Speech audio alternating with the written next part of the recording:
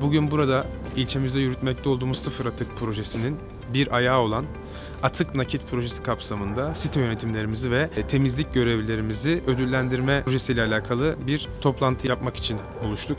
Bize gelen arkadaşlara daha önce topladıkları atıklar karşılığında kazanmış oldukları e, hediye çeklerini verdik. Sonrasında onların şikayetlerini, taleplerini ve isteklerini dinledik ve bu isteklerin, talep ve şikayetlerin e, giderilmesi konusunda konuşmalar yaptık.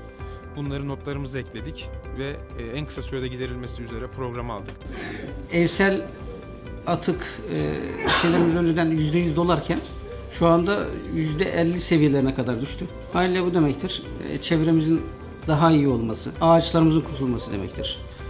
Çalışmalarımız diğer mahallelerimizde olmak üzere tüm hızıyla devam edecektir.